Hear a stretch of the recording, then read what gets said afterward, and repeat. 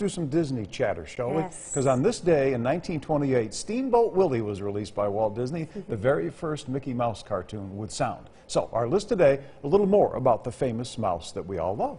So before Walt Disney created Mickey Mouse, he made Oswald the Lucky Rabbit. I think that was question of the day last year.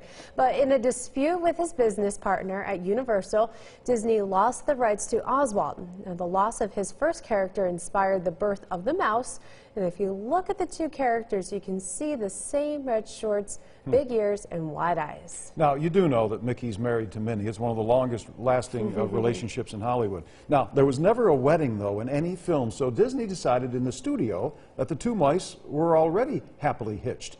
Mickey and Minnie hmm. shared their big screen debut together in Steamboat Willie, and so every year on November 18th, they get to celebrate their birthdays together. So, happy birthday and anniversary, I Now, guess. I never knew Mickey. they were actually married. Oh. You knew oh. they were an item. How about that? No. didn't Look at the ring on his finger. No, it fell off.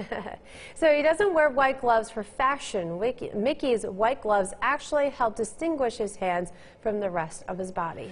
Uh, yeah, his ring finger is missing, I think, on one of those gloves. That's why he doesn't wear his wedding ring. Anyway, Mickey is, as you know, frequently a write-in candidate in local and national elections. Unfortunately, votes for Mickey Mouse usually end up in the trash, along those with those for Donald Duck.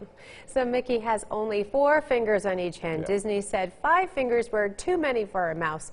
Plus, it's estimated that the lack of an extra finger in each six and a half minute shorts, 45,000 drawings, saved the studio millions Ah, and millions of dollars. Yeah, the animators love that. Oh, they don't have to do that fifth finger for Mickey. Well,